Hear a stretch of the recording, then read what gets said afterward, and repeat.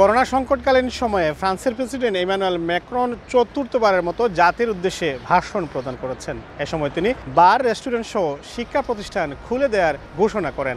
Corona সংকটের কারণে দ্বিতীয় দফা পৌরসভা নির্বাচন আগামী আঠাশে জুন অনুষ্ঠিত হবে বলেও প্রেসিডেন্ট জানান। একই সাথে বিমানবন্দরগুলো আর সীমান্ত খুলে দেওয়ারও কথা বলেছেন তিনি। তবে আন্তর্জাতিক ফ্লাইট কিংবা স্থানীয় ফ্লাইটগুলো নির্ভর করবে অন্যান্য দেশের উপর। এ ভাষণে তিনি বর্ণবাদের বিরুদ্ধে তার অবস্থান এবং তার সরকারের অবস্থান সোচ্চার থাকবে বলেও জানান। প্রেসিডেন্টের এই ভাষণের মধ্য দিয়ে ফ্রান্সের জনজীবন আবারও স্বাভাবিক অবস্থায় ফিরবে এমন আশাবাদ দেশটিতে বসবাসকারী প্রবাসী বাংলাদেশিদের। আমাদের যে বার রেস্টুরেন্টগুলো আছে সেই বার রেস্টুরেন্টগুলোতে আমাদের আগের জীবনযাত্রার মতন চলবে আমি আশা করি। বাচ্চাদেরকে স্কুলে দেওয়ার সাথেও যে তাদেরকে মাস্ক পরিধান করে স্কুলে যেতে হবে। ছোটদের স্কুলের পাশাপাশি প্রাইমারি আর হাই স্কুলও খুলে দেওয়ার কথা বলেছেন প্রেসিডেন্ট। একই সাথে আগামী বাইশ তারিখ থেকে শিক্ষার্থীদেরকে বাধ্যতামূলকভাবে শিক্ষা প্রতিষ্ঠানে যেতে হবে, এমনটাও বলেছেন তিনি।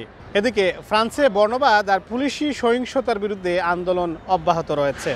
এমন অবস্থায় যুক্তরাষ্ট্রের আটলান্টায় নতুন করে আরেক কৃষ্ণাঙ্গ পুলিশের গুলিতে নিহত হওয়ায় ফ্রান্স সহ ইউরোপের অন্যান্য দেশেও নতুন করে আন্দোলন আরও ব্যাপকতা লাভ করতে পারে, এমন শঙ্কায় অনেকের।